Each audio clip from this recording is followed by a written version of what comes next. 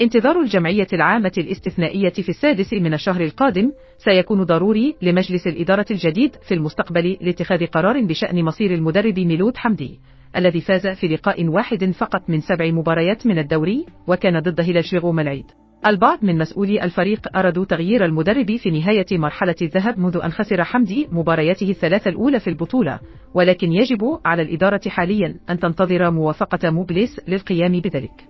وسيقوم ميلود حمدي بتدريب الفريق من المدرجات في تونس وسيدرب الفريق خلال المباراة المتأخرة ضد اتحاد العاصمة يوم الخامس من الشهر القادم.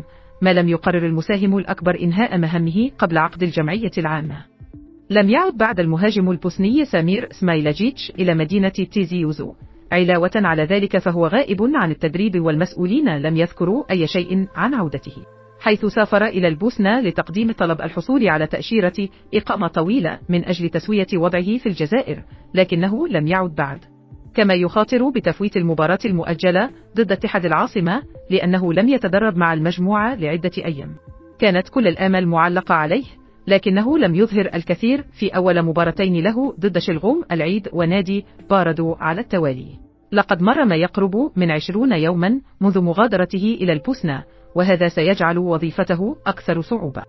وعلى الرغم أنه غير معني بمباريات دوري أبطال إفريقيا بسبب عدم تأهيله لكن سيتعين عليه العودة للمجموعة بأسرع ما يمكن للعودة إلى العمل من أجل التحضير لمباريات البطولة الوطنية.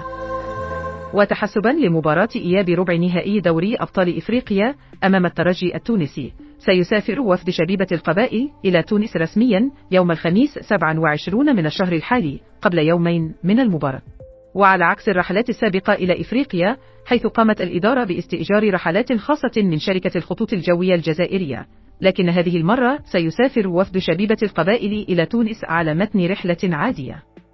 هذا نظرا لأن الرحلة ليست بعيدة وليس من المفيد إنفاق مبالغ كبيرة من أجل الذهاب إلى تونس في رحلة خاصة.